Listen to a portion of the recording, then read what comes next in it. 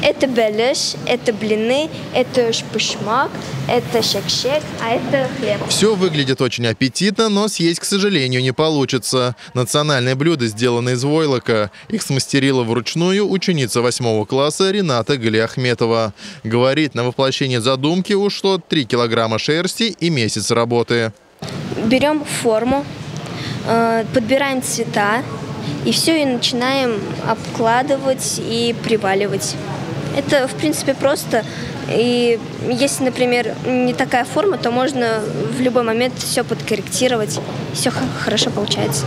Свои изделия Рената представила на творческом форуме народных мастеров «Фолкрафт». Мероприятие в Башкирии прошло впервые. На одной площадке встретились более 30 умельцев со всей республики. Украшения, игрушки, одежда с национальным орнаментом и элементы декора. Рим Галимов приехал из Мишкинского района, привез резные изделия. Работа сделана из дерева липы.